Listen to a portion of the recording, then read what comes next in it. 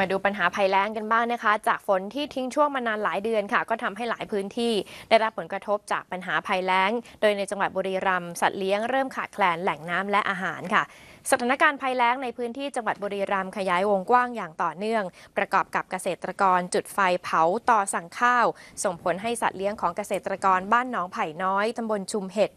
อำเภอเมือง เริ่มขาดแคลนแหล่งน้ำและอาหารทำให้ต้องนำสัตว์เลี้ยงออกหากินหญ้าแห้งที่ยังหลงเหลืออยู่ ตามทุ่งนาห่างจากหมู่บ้าน 3-4 กิโลเมตร บางคนลงทุนซื้อฟางฟ้อนกักตุนไว้ ให้สัตว์เลี้ยงในช่วงหน้าแล้ง ขณะที่หลายคนตัดสินใจ เพราะ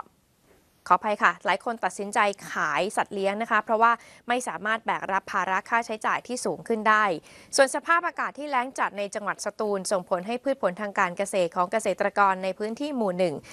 เทศบาลตำบลคลองขุดอำเภอเมืองได้รับความเสียหาย ต้นพริกเกือบ 200 ต้นเริ่มขาดน้ำยืนต้นตาย เนื่องจากปริมาณน้ำในสระที่ขุดไว้ เริ่มแห้งขอด หากยังไม่มีฝนตกลงมาคาดว่าต้นพริกก็จะแห้งตายทั้งหมด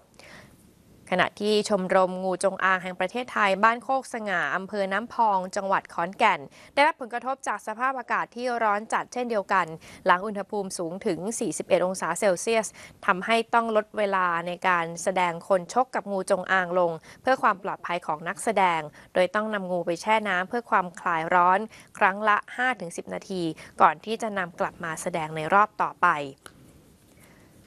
ส่วนที่จังหวัดเชียงราย